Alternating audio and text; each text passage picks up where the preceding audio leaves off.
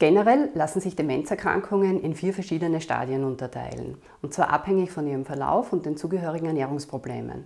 So gibt es zuerst das erste Stadium, nämlich die präklinische und frühe Demenz, das zweite Stadium die leichte bis mittelschwere Demenz, das dritte Stadium benannt als mittelschwere bis schwere Demenz und das vierte Stadium die schwere Demenz.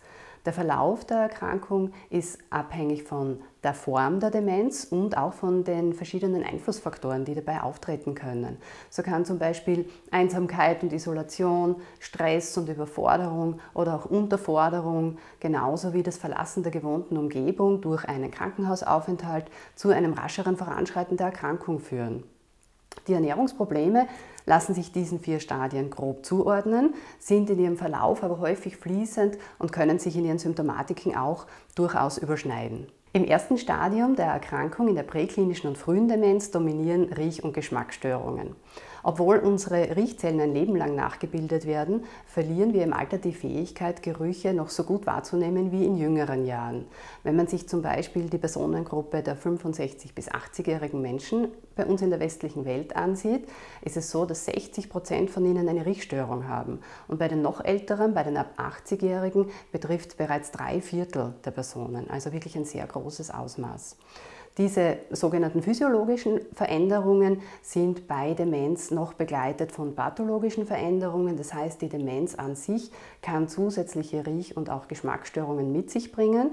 Bei der Alzheimer-Demenz ist es zum Beispiel so, dass ähm, die Riechstörungen ein sehr frühes Symptom sind, lange schon bevor überhaupt die ersten kognitiven Beeinträchtigungen auftreten. Es äußert sich in dieser Form, dass beispielsweise Gerüche nicht mehr erkannt werden, dass sie nicht mehr voneinander unterschieden werden können oder auch nicht mehr benannt werden können. Also man weiß einfach nicht mehr, um welchen Geruch handelt es sich hier.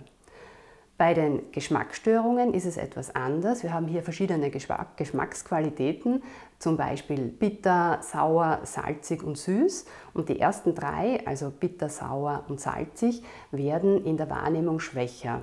Das heißt in weiterer Folge, Lebensmittel und Speisen, die eben eher bitter sind oder eher sauer sind, werden vermehrt abgelehnt, zum Beispiel Salat, Gemüse, Kräuter oder auch Vollkornprodukte, während Süßspeisen sehr, sehr gut akzeptiert und auch sehr gerne weiterhin gegessen werden.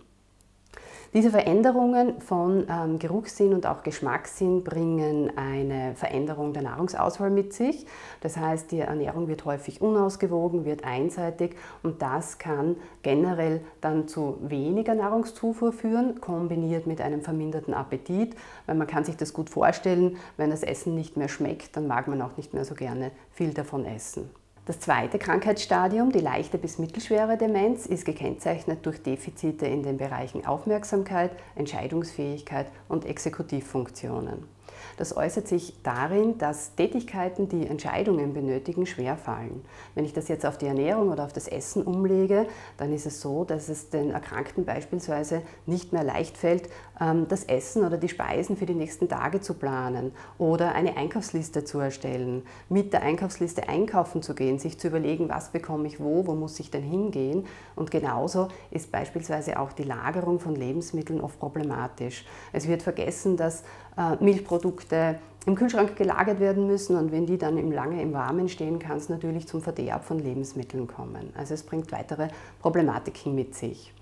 Neben, der, neben dem Einkauf und der Aufbewahrung sind auch die Arbeitsschritte beim Kochen selbst häufig schwierig oder problematisch, weil Kochen äh, eine sehr hohe Koordinationsfähigkeit erfordert.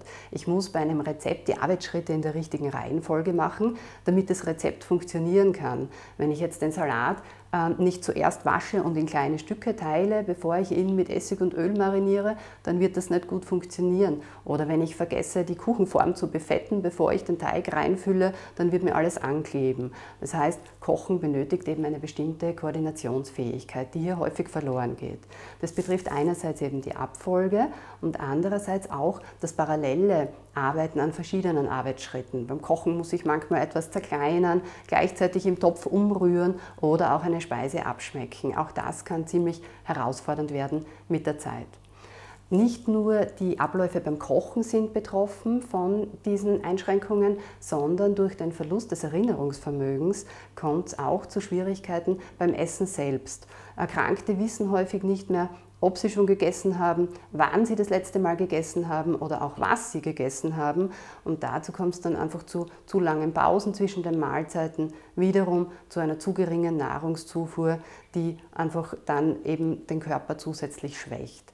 Und nicht nur dieses Vergessen auf die einzelnen Mahlzeiten, sondern auch die Mahlzeit zu beginnen, sich auf die Mahlzeit zu konzentrieren und diese bis zum Ende fortzuführen, sind häufig eingeschränkt. Das heißt, es sind hier viele Faktoren, die eine normale Nahrungszufuhr schon deutlich beeinträchtigen.